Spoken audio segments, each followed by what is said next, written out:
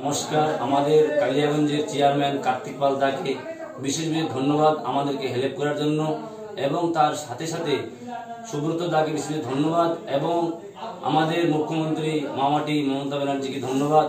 আমাদের, আমরা যে এখানে এসে ফেসে গেছি, তার জন্য এখানকার পুলিশ প্রশাসন আসে আমাদেরকে হেল্প করছে। তার জন্য সম্পূর্ণ সাহায্য করছে আমাদের কালিয়াগঞ্জের চেয়ারম্যান কার্তিক পাল দা। এবং পুলিশ এসে আমাদেরকে স্টেটমেন্ট নিয়ে গেছে, বলছে তোমাদের কোনো যদি অসুবিধা হয় এবং কি যদি কোনো প্রবলেম হয়, তাহলে পুলিশ বলছে যে আমাদেরকে বলবা। আর তার সাথে সাথে আমাদের কালিয়াগঞ্জের চেয়ারম্যান কার্তিক পালদা বলছে যে তোমাদের কোনো অসুবিধা এবং তোমাদের খাওয়া দাওয়ার কোনো যদি অসুবিধা হয় এবং থাকার অসুবিধা আমাকে ফোন করবা। আমি সঙ্গে সঙ্গে অ্যাকশন নেব এবং তার ব্যাপারে কাজ করব।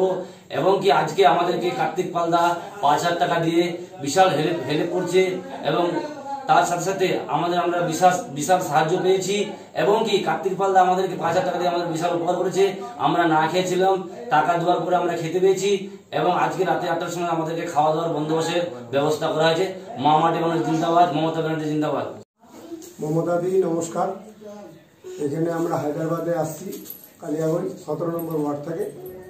তো এখানে ভাইরাসের জন্য বন্ধ। হ্যাঁ। ধারা ধারা তো ভাইরাসের জন্য বন্ধ। এইখানে খাওয়া দাওয়ার কোনো আমাদের ব্যবস্থা নাই। কাজকাম তো দূরের কথা, খাওয়া দাওয়ারও ব্যবস্থা নাই।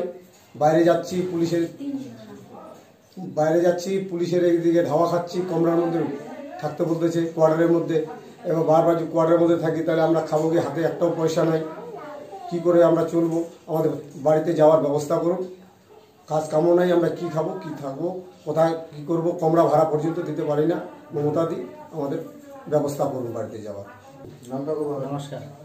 আমার নাম সাদ্দাম হোসেন আমি কালিয়াগঞ্জ থানা সতেরো নম্বর ওয়ার্ড থেকে হায়দ্রাবাদে এসেছি কাজ করার জন্য। কিন্তু এখানে এসে আমরা ফাঁসে গেছি আমি। এখানে আসার আমার মোটামুটি এক মাস হলো তার মধ্যে আমি পনেরো পনেরো দিন কাজ করছি। পনেরো দিন কাজ করার পরেই করোনা ভাইরাসের জন্য এখন রুম থেকে বাড়াতে পারতেছি না। হাতে এক টাকা পয়সা নাই যে আমরা কিছু আনে খাব আর বাইরে বাড়াতেও পারতেছি না। তো প্লিজ মমতা দিয়ে আমাদেরকে এখান থেকে বার করে নিয়ে যান। নমস্কার। মানিকালি আমার বাড়ি কালিয়াগঞ্জে আমি হায়দ্রাবাদে আসছি কাজ করার জন্য। আসার আমার এক মাস হলো কাজ কাম বন্ধ হয়ে গেছে ক্রোসা ভাষার জন্য। আমার বাড়িতে নেওয়া যাওয়ার ব্যবস্থা করুন। আমরা এখানে খাওয়া দাওয়া নাই আমার কাছে পয়সা রোজগার নাই যে খাব। বাইরে যাচ্ছি কাজ করার জন্য আমরা পুলিশে আমাদের মারা ধরা করতেছি। আমাকে মমতা দিয়ে আমার বাড়িতে যাওয়ার ব্যবস্থা করুন নমস্কার।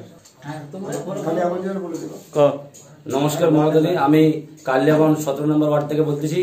আমরা হায়দ্রাবাদে কাজের জন্য আসছিলাম তো এসে এখানে করোনা ভাইরাসের জন্য ফেসে গেছি।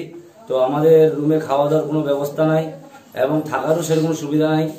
তো আমরা রুমের বাইরে যেতে পারতেছি না এবং কোনো জিনিস আনে রান্না করে যাব তার পয়সা আমাদের কাছে নেই। আমার বাড়ি কালিয়াগঞ্জ সতেরো নম্বর ওয়ার্ডে।